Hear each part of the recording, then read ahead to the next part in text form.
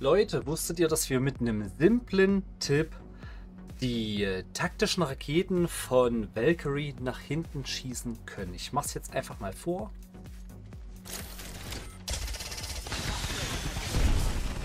Und ihr habt gesehen, der Dummy hat 31 Damage bekommen.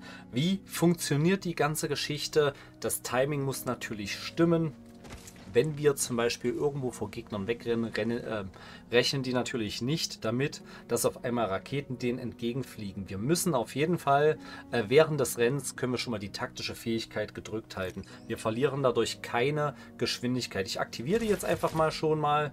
Dann rennen wir, schauen dabei nach unten und dann springen wir und lassen sofort los. Und dann fliegen die Raketen nach hinten.